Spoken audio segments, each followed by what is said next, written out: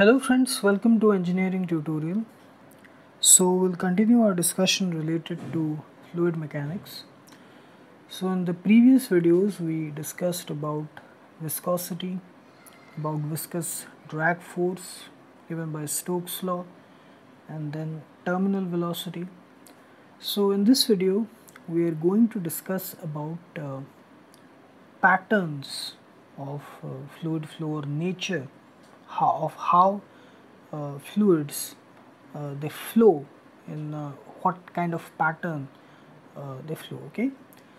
So you know the basic uh, nature of fluid flow it is very difficult to study without simplifying it with certain assumptions okay? It is very complicated. It is very difficult to study. For example if we say the flow of uh, river okay? Or uh, if we look at a chimney the rise of smoke you know it is very difficult to study the pattern in which uh, the flow happens. But each you know each molecule of uh, you know each fluid molecule be it each droplet of water or uh, each smoke particle their behavior is governed by Newton's law of motion. But if we take if we combine them all together okay then it will be very complicated uh, to describe their motion. So certain assumptions are uh, taken to simplify this whole study process. First assumption is that the fluid whenever it is under study the fluid motion it is assumed that it is non-viscous okay? So there is no fluid friction between adjacent layers of fluid. Second, it is incompressible, that is, density is constant throughout. And third is that the fluid motion is considered to be steady. Okay, it means that the velocity, density, pressure, it does not change at each point with respect to time. So, the types of uh, fluid flow or liquid flow it can be basically divided into two main categories. First streamline flow or steady flow. Second one is turbulent flow. So first we'll discuss about streamline flow. So streamline flow or steady flow. Here there are two characteristics that are important. First the first characteristics of streamline flow is that it follows fixed well defined paths. And second fixed velocity at each point. So here please pay attention to the second point. Here I have not said that it has fixed velocity throughout. At each point the velocity is fixed. So let us try to understand these two. Fixed well defined paths and fixed velocity as each point. Let us say we have fluid molecules which take this curved path. Starting from A it goes through B then it goes through C. So these are the liquid molecules okay at A, at B and at C. So a liquid molecule which comes let's say it is at this position then it goes through this position then it goes through A then it takes the path like this it reaches B then like this like this it reaches uh, C and then up to here here like this. So here what I am trying to say by streamline flow is that every fluid molecule which you know which reaches this point it takes this path this curved path ABC that is called as fixed well defined path that is the first characteristics. It has a proper fixed well defined path. Then the velocity at each point is fixed.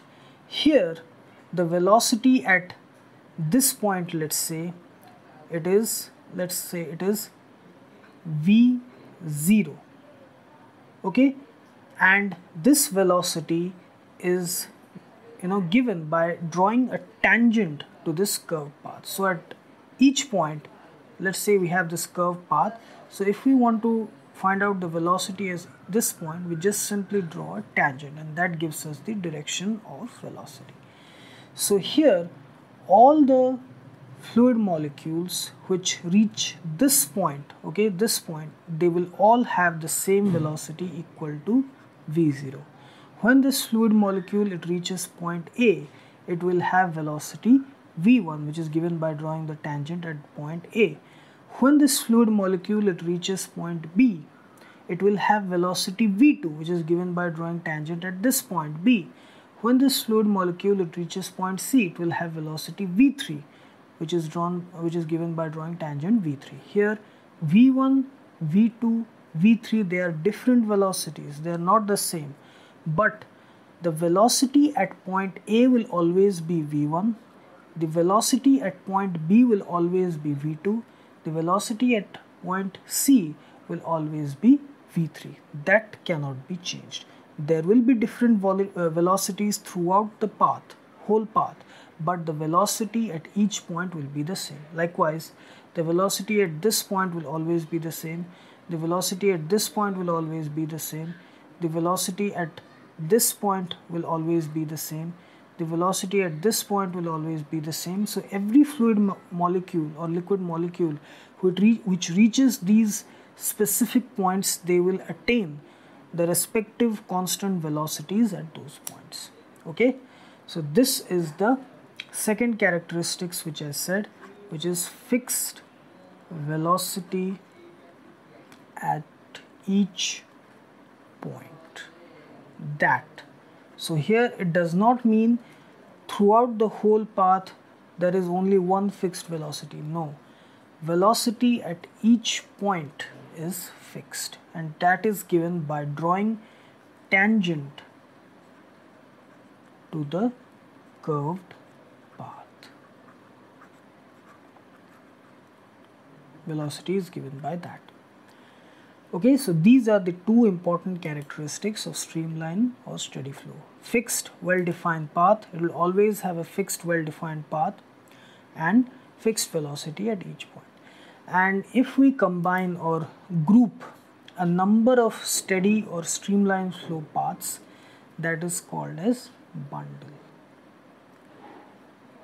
which is a group of streamline flow paths. So they are fixed well defined paths. The fluid molecules or liquid molecules they take that path all the characteristics are same that is fixed velocity at each point well defined path but it is just a grouping of multiple streamline flow paths that is called as bundle okay so this is another characteristics of streamline flow Another important kind of special category of streamline flow is called as laminar flow. Okay, it is a special case of streamline flow where the liquid it flows as straight paths. Okay, straight paths and a number of such straight line paths or parallel layers that gives us the laminar flow. So here it is straight paths and grouping of multiple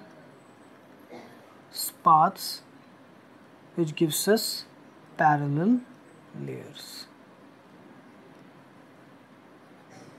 Okay?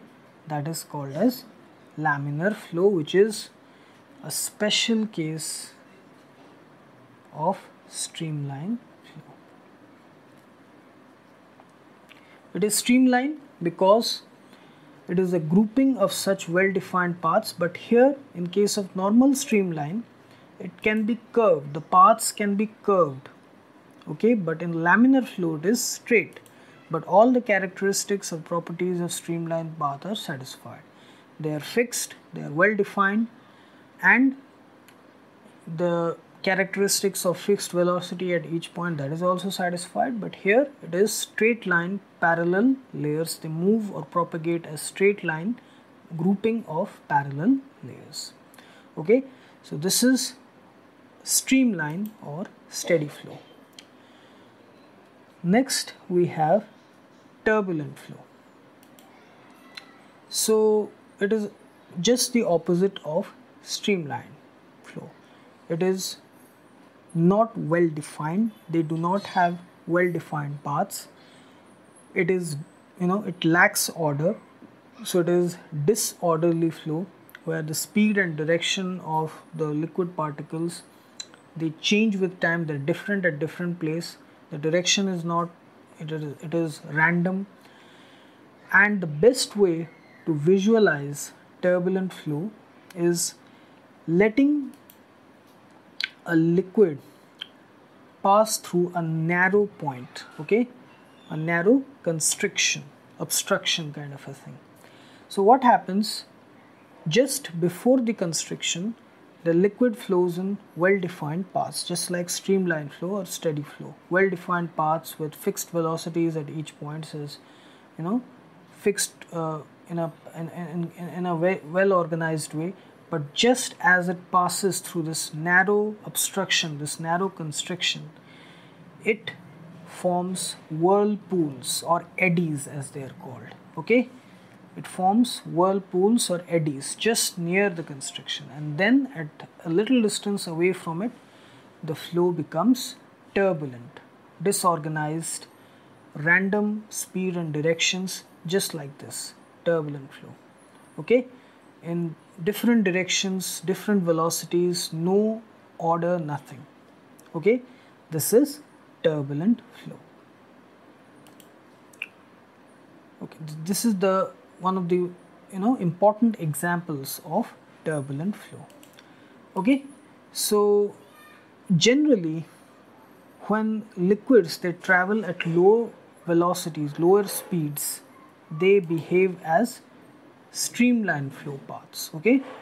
It is called as streamline flow or steady flow okay? When they move or flow at low speeds but as the speed is increased the streamline flow it gets converted into turbulent flow and that is achieved by this narrow constriction which increases the velocity of the fluid by rushing it you know rushing a large volume of liquid through a small surface area it accelerates it it increases its velocity and hence when velocity of the fluid or liquid is increased it gets converted into turbulent flow just like this. Okay? So if we compare steady flow or streamlined flow which is well organized in well defined paths turbulent flow is just the opposite. Okay? So there is uh, another important parameter called as critical velocity which we'll discuss in a separate video which gives us the velocity at which streamlined flow gets converted into turbulent flow. Okay? So there are important concepts critical velocity Reynolds numbers. We'll discuss it in a separate video. Okay? So here we have discussed about turbulent flow. Okay? Next important uh, concept is the rate of flow or flow rate of fluids so basically uh, flow rate of fluids is the volume of uh, liquid passing through a given cross section in one second okay the volume passing through a point in one second. The volume of liquid passing through a point in one second. So it is expressed as capital Q, the symbol capital Q, which is V by T. That is volume of liquid passing through a given point divided by time taken. Or we can express it as volume passing a given point per second this so let us try to understand it let us say we take a small cross section of a pipe carrying a liquid the cross sectional area of the pipe is A. The liquid is moving at a velocity V. Let's say in a time t, okay, in time t seconds, moving with velocity v, it covers a length L, okay, it covers a length L where L is equal to Vt, okay distance covered by the liquid in t seconds moving at velocity v. So it is velocity multiplied with time which gives us the length or distance.